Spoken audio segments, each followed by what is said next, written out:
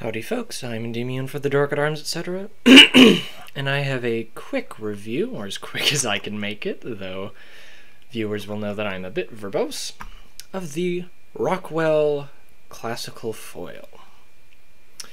So for those of you who don't know, I started out in classical fencing, studying foil and saber. And I started off with a French grip foil, and let me just grab my French grip for quick reference. Movie magic! This is my French foil here. This is the first piece of fencing equipment I ever owned. It is from Alliance Fencing.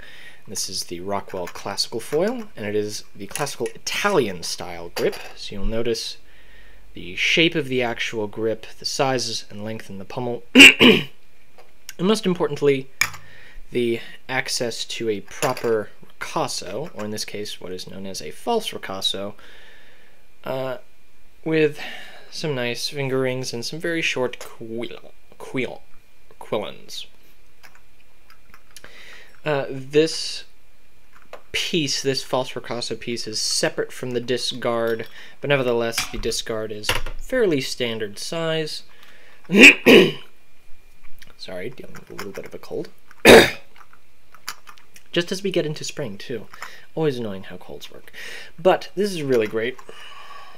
The shape of this grip here makes me grip my French grip foil like this. And, you know, that's pretty comfortable. That's how I learned, you know. It's very illustrative for the idea of cradling the foil in your hand like a baby bird, which is a bit of the oral tradition in classical fencing. And then this is roughly how you this is roughly how you grip, just had to adjust the mic.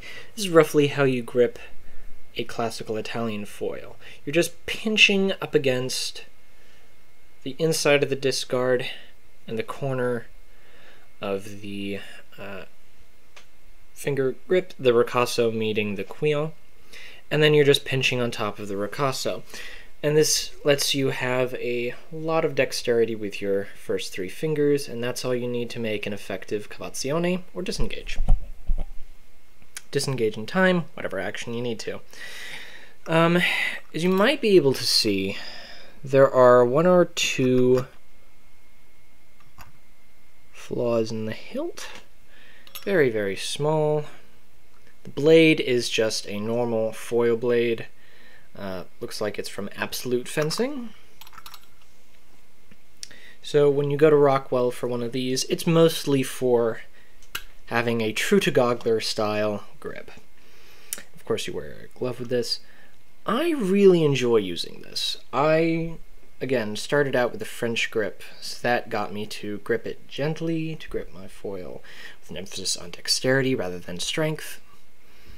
And, you know, they are the same length. The pommel is slightly longer and it's a solid smooth pommel so that you can uh, tie the pommel into your wrist just so that, you know, as a training implement you keep the point of the foil to your elbow as a single solid line, even when going at times into your low guard parry of seconda to prima Prima here if you want to do the saber. But it's very good. The one thing that I would change is that if you look carefully, the hilt is actually slightly canted. So that the blade comes down and you can see it tilts slightly inward. This is kind of more natural fitting to the wrist and the hand. Um, I'd prefer something that's just slightly more true to form of a historical uh, sort of late rapier or a small rapier, the Officer's Spada, which you can also get at Rockwell. I'll put a link in the description, actually. But I really enjoy this. I think it's very useful, and I think learning classical fencing uh, provides terminology and pedagogy and uh, just the right kind of lessons, particularly not death gripping your sword. That's something that uh, I've had to apply for my longsword stuff. So, this is the Rockwell False Ricasso Italian foil, and Diamond Endymion for the Dark Arms, etc. like if you like this, subscribe subscribe if you want more, and I'll put the link in the description for this, and you can go explore more top quality products at Rockwell Fencing. I'm not sponsored, but I like them.